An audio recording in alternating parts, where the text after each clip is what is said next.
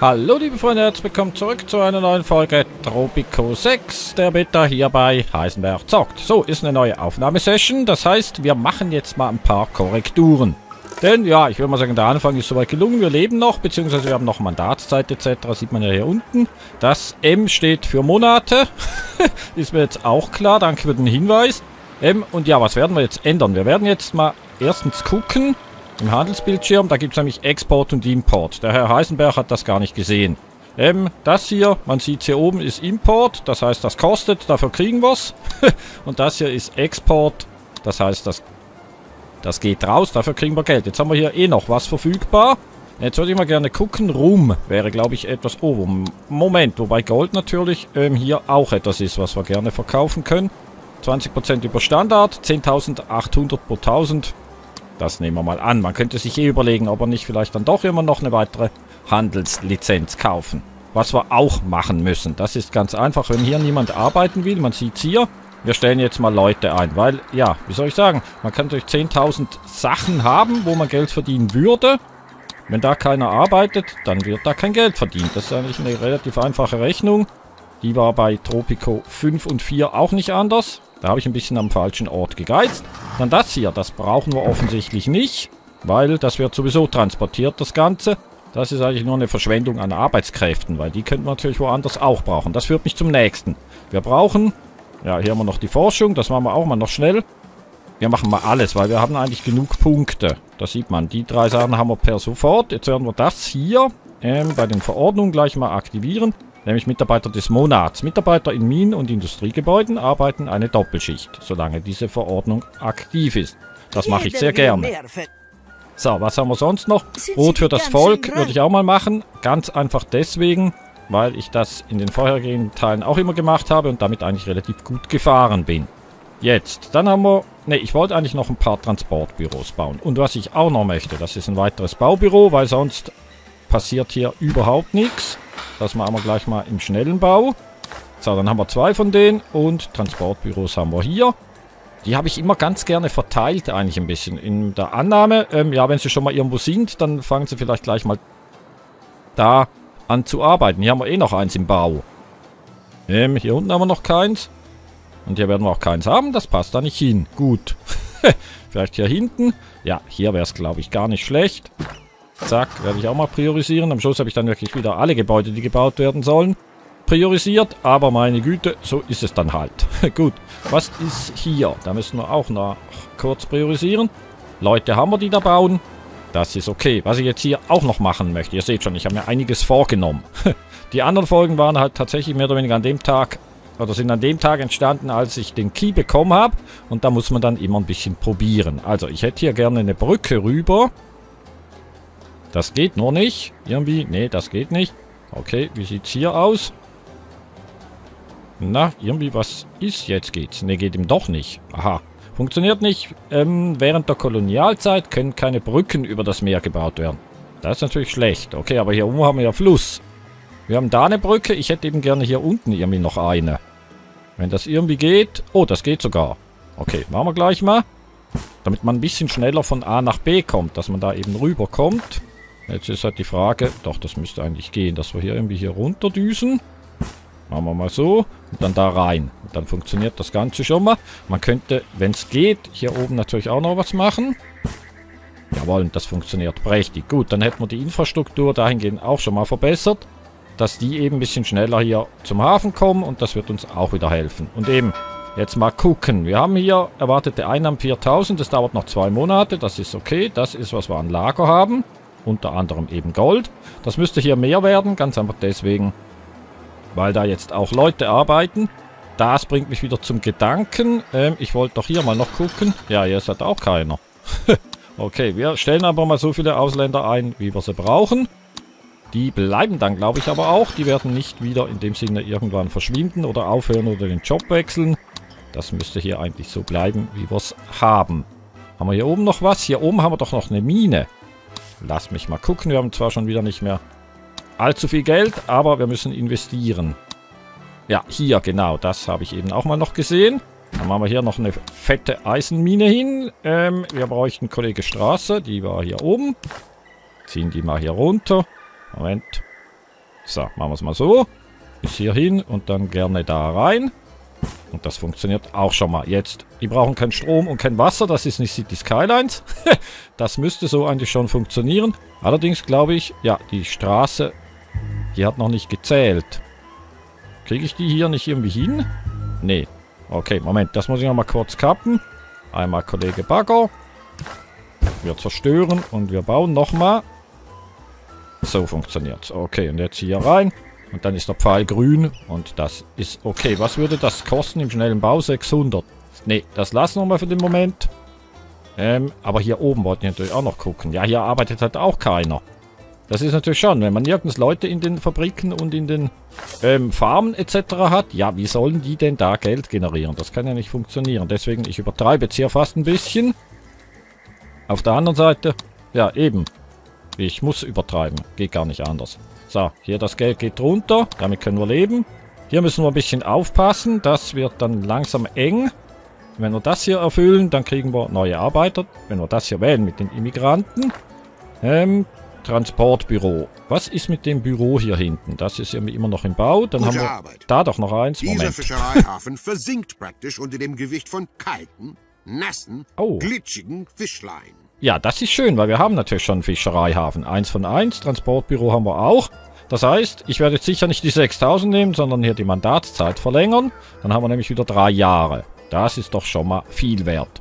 Ähm, das heißt, wir können darauf verzichten, hier das Transportbüro sozusagen schnell zu bauen. Das hier steht tatsächlich schon. Da kommen schon die ersten Leute rein, weil wir brauchen das hier nicht mehr. Jetzt würde ich aber...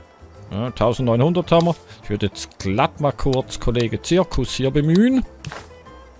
Wohin mit dir? Ja, mir möglichst zentral wäre wahrscheinlich nicht ganz falsch. Was ist das für ein Zeichen? Das macht mich schon wieder unruhig. ne, wir gucken gleich. Hier oben vielleicht irgendwie so? Ja, das sieht doch gar nicht schlecht aus. Zack. Herrlich, haben wir einen Zirkus. Jetzt ist das Zeichen weg. Ich weiß gar nicht, was es bedeutet hat. Aber in Ordnung. Also Zirkus haben, Zirkus haben wir. Hier mal noch genau lesen. Hier steht nämlich Importhandelsroute mit die Krone erfüllen. Das heißt, die wollen importieren. Das heißt, wir müssten hier noch etwas, ähm, ja, importieren von der Krone. Jetzt haben wir hier aber lauter Sachen. Ja, aber man sieht schon, Zucker funktioniert nicht, weil da eben keiner arbeitet. Deswegen künden wir die Verträge. Tabak läuft, Gold läuft. Und jetzt machen wir hier einen Import. Ähm, und zwar eben nicht mit den Schmugglern, sondern gern mit der Krone. Haben wir hier irgendwas, was die Krone gerne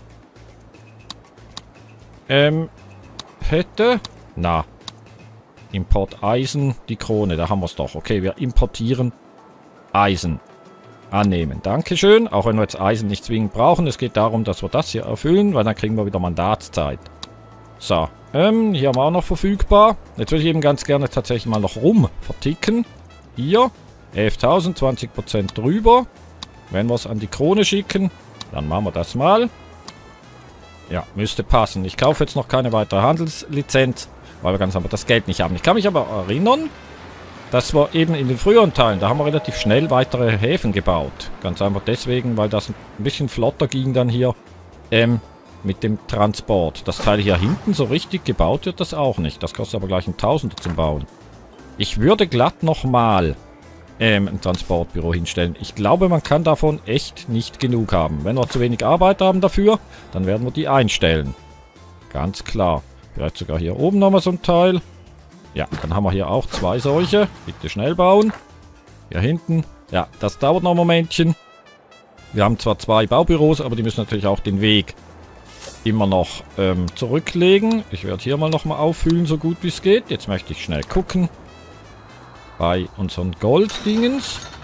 Ja, die Arbeiter, die Ausländischen, die kommen dann ja immer mit der Fähre, sprich, beziehungsweise mit dem Dampfer, der auch Eure den ganzen Freibeuter Umsatz generiert. wollen den Anker lichten. Oh, furchtlosester Anführer, doch es weht kein Lüftchen. Okay, Gold zu Piratenbucht liefern. Okay, jetzt wird's interessant. Ich würde mal sagen, das müsste man wahrscheinlich auch hier machen. Ähm, aber wir haben, glaube ich, kein Handelsdingens frei. Dann lassen wir das für den Moment. Sobald wir hier was frei haben, werden wir das machen. Dann haben wir, was ist denn Goldschmuggel? Schließen Sie den Überfall Goldschmuggel ab. Okay, das führt uns nachher hinten. Das kann man aber, glaube ich, auch hier machen. Ja, ne, hier sieht man nur, was sie gerade machen. Überfall. Ähm, was müssen wir? Goldschmuggel. Das wäre hier. Das ist aber noch nicht verfügbar. Da haben wir wahrscheinlich zu wenig Punkte. Dann müssen wir erstmal die Punkte generieren. Das würde mir sagen, wir machen mal das. Und dann als nächstes geht immer noch nicht. Machen wir mal jemanden retten. Das müsste dann Immigranten bringen. Ja, da müssen wir halt später dann dazu übergehen, wenn wir die Punkte haben. Würde ich jetzt mal behaupten. Das hier ist, glaube ich, eine ewige Baustelle. Was ich übrigens auch gemacht habe, ich musste die Musik ein bisschen leiser drehen, denn ich hatte ja einen Content-Treffer von YouTube wegen der Musik, weil ich die Lizenz nicht dafür habe und das ist immer relativ ärgerlich. Das gab es bei Tropico 5 schon. Da kann man eigentlich nicht viel machen, außer die Musik deaktivieren. Oder, so wie ich jetzt halt das Ganze gemacht habe, dass wir da ein bisschen das Ganze leiser stellen. Die Geräusche, die sollten eigentlich immer noch laut genug sein. Also die haben die gleiche Lautstärke. Das sieht ja auch cool aus da. Guck mal die Baustelle. Wie hier der Staub daherkommt. Hier kommen die Arbeiter. Ja, es ist halt schon einfach nur nett gemacht. Und ich muss sagen, grafisch, ja, es ist einfach wunderschön. Also ohne Scherz, ich finde es wirklich wunderschön. Alleine diese Texturen vom Boden, das sieht aus wie ein Teppich. Ich weiß nicht, ob man das im Video auch erkennt, aber so im Spiel selber... Ach, hier mit diesen Feldern, das ist aber nur schön. Und das ist genau das, was sich bei Tropico 5 eben schon an den Bildschirm gefesselt hat. Wenn man was gebaut hat, es hat sich aber auch gelohnt, dass man das Ganze... Ja, dass man sich das Ganze in Ruhe anguckt. So, jetzt wäre es hier eigentlich besser. Da kommt dann wieder einer mit der Fähre. Das ist schon mal cool. Jetzt haben wir aber ein bisschen Probleme finanzieller Natur. Okay, das müssen wir aber in den Griff kriegen, wenn die Transportfirmen vernünftig arbeiten. Und wir brauchen halt hier Leute. Das ist soweit okay. Hier nehmen wir nochmal einen dazu. Und hier oben... Ah, okay, jetzt steht das Ding doch schon. Das ist ja nett. Hier brauchen wir halt auch noch Leute. So, damit wir Eisen produzieren können. Der Auftrag, den wir, oder den Auftrag, den wir hier natürlich vergeben haben, wegen Import von Eisen, das kostet uns auch wieder Geld, das ist klar. Aber wie gesagt, das mache ich, damit ich das hier erfüllen kann, damit wir da wieder neue Amtszeit bekommen. Gut. Also ich neige dazu, das hier im Schnellbau fertigzustellen, weil irgendwie die Arbeiter, die sind zwar hier, aber da passiert überhaupt nichts. Die kommen auch nicht. Keine Ahnung, was die machen. Wahrscheinlich gerade Siesta. Oh, das führt mich noch zum Gedanken. Ja, ich kann zwar jetzt nicht. Oh, der Zirkus ist fertig. Das möchte ich natürlich kurz sehen. So, das machen wir mal zu. Ist oh. unsere Revolution eher wenig ruhmreich. Ja. Mit Ihrer Unterstützung, Präsidente, wird das Volk Sie jedoch erstrahlen lassen. Erstrahlen lassen. Ja, das hoffen wir doch. Okay, hier ganz klar, was wir machen. Wir brauchen zwar Geld, aber 2000 ist mir einfach zu wenig. Eine zufällige Blaupause wäre natürlich auch schön. Da kriegt man dann irgendwas sozusagen freigeschaltet. Aber ich würde sagen, wir nehmen die Immigranten, weil das natürlich Arbeitskräfte sind. Das ist ja aber schon auch sehr schön, der Zirkus. cool gemacht. Hier mit den Wagen. Ach, hier wäre der Eingang. Sehe ich das richtig? Was haben wir denn hier? Wenn man hier vorne guckt, ist hier kein Eingang. Ist eigentlich falsch rum. Aber das kann man natürlich dahingehend noch korrigieren. Wir bauen hier einfach eine Straße. Funktioniert das? Dass hier eine Straße lang geht? Jawohl, das funktioniert. So, dann kommt man hier nämlich auch Richtung Eingang. Ich denke, das macht dann doch noch eine Spur mehr Sinn. Oh, ist aber auch einfach nur cool, das Teil. So, jetzt sind wir mitten im Haus drin. Wir gehen wieder raus und arbeiten noch ein bisschen. Wir haben hier zwei Jahre, vier Monate. Wir haben minus 10.000. Das ist dann eher bitter. Aber, ähm, ja, da sollte ja auch was daherkommen. Bei 5.000 sind wir im Moment. Gold, okay, das ist nett. Ähm, die Schiffe sind unterwegs, das passt. Und hier wird eigentlich produziert, Lager 200. Das muss aber abgeholt werden. Dann hier hinten hingebracht werden. Und dann schlägt das hier natürlich entsprechend zu Buche.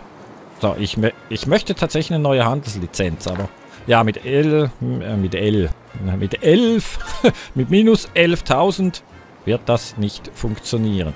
Jetzt ist gerade der Frachter eigentlich wieder gekommen.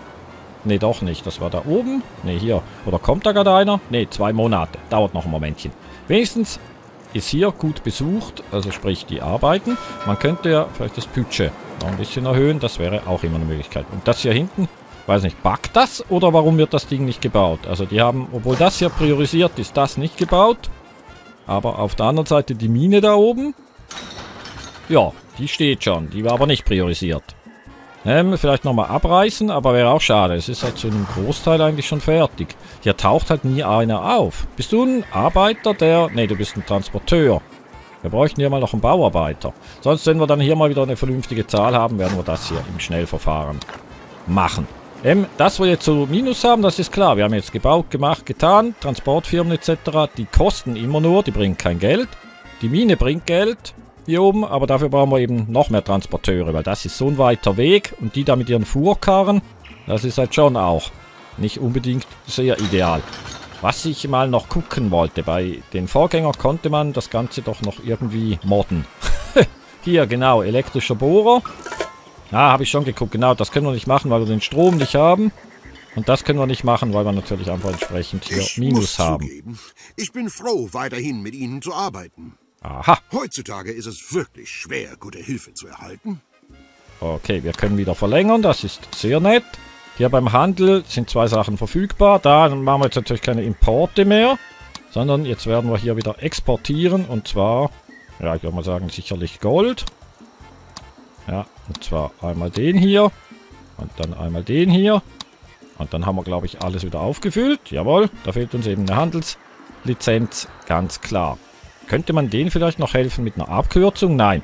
Ähm, hier wird man keine Straße runterkriegen, außer hier. Man könnte außenrum, das ist dann aber noch weiter. Ne, da können wir nicht viel machen. So, wie sieht es jetzt hier aus? Ich möchte, dass ich hier plötzlich sehe, dass das ähm, ein bisschen in die Gänge kommt. Dann kommen wir hier oben nämlich auch wieder raus entsprechend. Müssen wir wohl ein bisschen Geduld haben. Und vielleicht nochmal Transportbüro. Wir haben ja hier hinten eins. Guck mal, das will einfach irgendwie nicht wirklich hier. Das gefällt mir gar nicht. Ähm, ja, das können wir nicht schnell bauen. Und es bindet hier doch Arbeiter, obwohl die hier irgendwie gar nicht auftauchen. Wisst ihr was? Wir kloppen das mal weg. So, das kostet ja nichts. Und stellen es halt woanders hin. Ah, kann ich natürlich nicht. Wenn ich kein Geld habe, kann ich kein Transportbüro bauen. Gut, aber hat ja wirklich keinen Sinn gemacht. Jetzt haben wir wenigstens mal gesehen, wie man die wegbekommt. das ist ja auch schön, wenn man das weiß. So, und hier unser Fischerhafen. Da fehlen auch Leute. Ach, ja, kann halt niemanden einstellen. Da müssen wir jetzt ein Momentchen Geduld haben. 2000 ist halt auch wenig. Ich frage mich, Gouverneur, heiligen die Mittel die zweckmäßige Gemeinheit? Für die Unabhängigkeit lohnt sich jedes Opfer.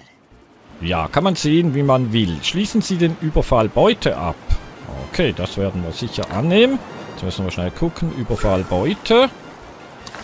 Ähm, was machen wir hier? Beute, Bananen. Ja, wir machen eh das, was sie gerne hätte. Das hier müssen wir dann nachher noch machen. Jetzt haben wir hier aber schon ein paar Punkte bekommen. Das ist schon mal schön. Wie sieht es mit dem Goldschmuggel aus? Oh, das habe ich jetzt vergessen. Ähm, dann kappen wir hier nochmal kurz was. Halt, das war hier. Handelsbildschirm öffnen. Wir wollen nicht mit der Krone, sondern wir müssen Gold liefern an die Schmuggler. Ähm, ja, die bezahlen leider nicht viel, aber okay, wir müssen tatsächlich Gold schmuggeln. Nicht genügend Gelder. Ach, das kann ich nicht machen, weil das natürlich... Hm, okay, wir müssen erst wieder zu Geld kommen. Gut. Goldschmuggel. Schließen Sie den Überfall Goldschmuggel ab. Beute. Wobei, halt, hier steht eigentlich nichts mehr von wegen, dass wir den... Hä? Ja, ist, besitzen Sie Gebäude, mindestens Gebäude, Bergwerk Gold, schließen Sie den Überfall. Okay, dann haben wir das andere aber eh schon weg. Dann mache ich hier natürlich nochmal auf und dann werden wir hier nochmal etwas exportieren. Rum wollte ich doch schon die ganze Zeit. Das sieht man hier, das ist eh auch was relativ Gutes, was das Geld angeht. Ach, ist bereits aktiv. Okay, habe ich schon eingestellt. Nee, habe ich nicht. Kann ich hier nichts machen, wenn ich kein Geld habe? Echt jetzt? Gold? Annehmen. Jetzt hat es funktioniert. Beim Rum hat es nicht funktioniert. Hier haben wir zwar Rum. Ja, wie auch immer. Wir haben wieder vier Dingens aktiv. Das ist in Ordnung. Wie sieht es jetzt hier aus? 8000. Zusammen mit dem, was wir von der Krone bekommen. Da kommen wir, glaube ich, wir ich, um die 10.000. Müsste das ungefähr wieder bei 0 sein. Das wäre ja schon mal schön. Da müssen wir aber, wie gesagt, Geduld haben. Und hier hinten ähm, haben wir doch noch, genau, hier unten bei diesem schönen SOS. Ist hier jemand am Arbeiten? Ja, ist halt tatsächlich auch nur einer. Aber ich kann nichts machen. Ui, das wird hier. Aber langsam wird es dann doch teuer. Der ganze Spaß. Ähm, Obdachlose. Okay, Arbeitslose, Spaß. Wirtschaft. Ähm, Einnahmen 23, Ausgaben 31. Okay, wie, wie könnte man Ausgaben senken? Wann kommt hier der Kollege wieder? In einem Monat? 14.000? Ja, jetzt geht es hier aber schon rauf. Gut, das heißt, wenn der wieder kommt, dann können wir zumindest ein neues Transportbüro kaufen oder bauen lassen. Und ja, das müsste dann auch wieder helfen. Guck mal, die Leute waren alle im Zirkus. Ich kann, kann ich hier schlafen. mal gucken? Du kannst nicht schlafen, oh je. Vor lauter Spaß mache ich mir gleich in die Hose. Ach, herrje. Okay. Ja, ein Arzt. Ja, warum findet man in diesem Teil der Stadt nicht mehr seinen Arzt? Weil wir das noch nicht bauen nett, können. Wahl zu haben, oder? Die Wahl zwischen als Gouverneur weitermachen oder eine neue Karriere in körperlicher Arbeit. Ja, okay, sehr schön. Da können wir die Mandatszeit wieder verlängern. Nehmen wir natürlich an, weil das läuft sowieso. Das ist ja so eingestellt, dass wir hier im Handel entsprechend ja, Sachen exportieren zur Krone. Egal was dann zuerst hier ähm, erschöpft ist sozusagen. Ähm, das wird dann eh automatisch genommen. So, jetzt haben wir 19.000. Ich warte immer noch auf den Frachter. Noch vier Tage, drei Tage. Oh, guck mal hier, erwartete Einnahmen. Zack, und schon sind wir wieder im Plus. Das also das war gar nicht so falsch. Sprich, was auch immer die Krone will. Ja, und das haben wir auch schon erfüllt. Dann können wir die Mandatszeit hier wieder verlängern. Jetzt sind wir doch bei vier Jahren und sechs Monaten. Hier haben wir 10.000. Das heißt, ich würde mal sagen, wir sind doch auf einem guten Weg. Und ihr ahnt es. Was ich jetzt mache als erstes, das ist nochmal ein Transportbüro. Ich glaube, das ist tatsächlich immer noch so, dass man von den Teilen einfach wirklich nie genug haben kann. Nie. ähm, wenn ich dich hier hinstelle, baut ihr das dann auch? Oder passiert dann das gleiche wie hier unten, dass das irgendwie nicht funktioniert? Ich mache mal kein Risiko. Ich stelle dich mal... Moment. So, hier hin. Und ziehe dann die Straße rüber. Ob das geht? Wir werden es gleich wissen, wenn ich hier Kollege Sträßchen schnappe. Äh... Nee, geht nicht, aber doch, es würde gehen. Moment, jetzt geht's. Ich wollte gerade sagen, es war eigentlich auch rot vorher, aber das heißt nichts anderes, wie dass eben noch keinen Straßenanschluss haben. Gerne hohe Priorität. Wenn wir jetzt ja Geld haben, jetzt würde ich hier gerne noch mal gucken, wo müssen wir noch... Oh. Ich dachte, wir würden nie nach Tropico zurückkehren. Okay, Sie sind zurückgekehrt, das ist schön, Auftrag abgeschlossen. Sie bauen Gold für die Sache ab und verdienen sich so meinen Respekt. Aber sch es ist ein Respekt, der geheim bleiben muss. Ja, wie immer. Nehmen wir natürlich auch an. Hui, und das nächste. Lebens, lasst mich euch meinen Wert beweisen. Penultimo ist raffiniert, Penultimo ist clever und Penultimo weiß, bei wem man sich einschmeicheln muss. Ja, deswegen mögen wir Penultimo eben auch. Guck an, das ist ja wieder was Neues. Besitzen Sie ein Gebäude des Typs Kokosnussernter.